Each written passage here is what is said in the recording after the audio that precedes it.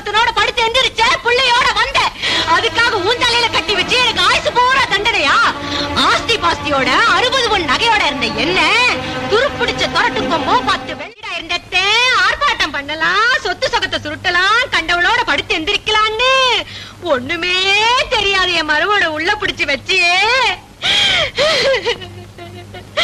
நீ சத்தியவந்தன் ஊரை நம்ப வைக்க செஞ்ச சதியா இது? எனக்கும் நல்லது கெட்டது கேட்க நாலு சாதிசனை இருக்கியா? நாலு சாதிசனை இருக்கு. இத சிரிக்கும் ஒரு தப்பு பண்ணிவிட்ட இல்லன்னு சொல்லல.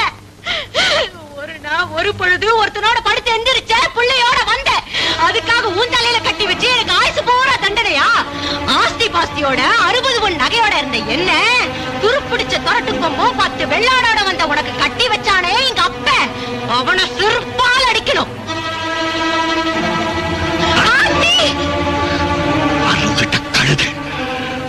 சத்தியமா உன் நெஞ்சில? கை வச்சு சொல்லு.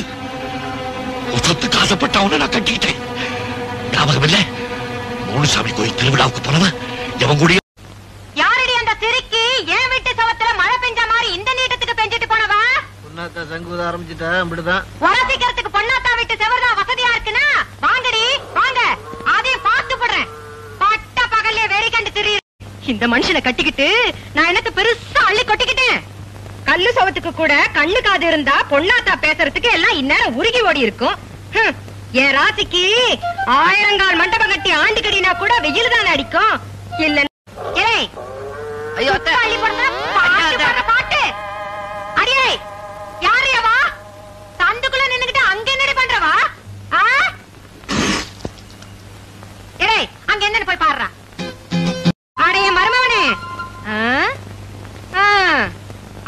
இருப்பான் இங்கேயும் இருப்பான் திங்கிற சொத்துல பங்கும் கேட்பான்னு சொல்லுவாங்க. உன் மாமனுக்காவது வெள்ளாடும் தோட்டு குச்சியும் சொந்தமா இருந்தது. உனக்கு கோவண துணி கூட சொந்தம் இல்லையே. அது என்ன அடுப்பு ஊதுற குச்சில அப்படி ஒரு பாட்டு? இந்தா மத்தியானத்துக்கு வாக்கெட்ட போட்டுக்கிட்டு மாடுகளை பாரு.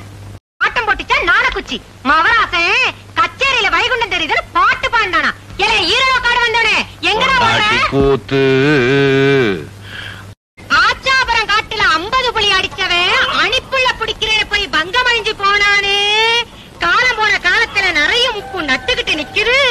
இந்த மனுஷன் என்னடா லவிக்க இல்லாத லம்பாடிய வச்சுக்கிட்டு இருக்காரு?